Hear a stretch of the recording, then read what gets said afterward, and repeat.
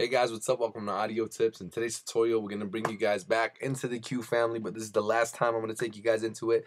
Today, we're going to go open the Ultimate Q family plugin. It's called the Q10, uh, mostly for beginners or new users. I'm just going to show you guys about it. Um, open it up, and it's got 10 band EQs. This is probably the equalizer that has the most bands and uh, and allows you to uh, equalize the most out of all the plugins that I have probably. It gives you 10 bands. Not a lot of equalizers have the ability to do that. Um, uh, this basically will give you a band on on uh, on really each uh, um, uh, each frequency uh, response from I guess from 0 to 31 you got a band, from 31 to 62 you got a band, from 62 to 125 you got a band, and so on and so on.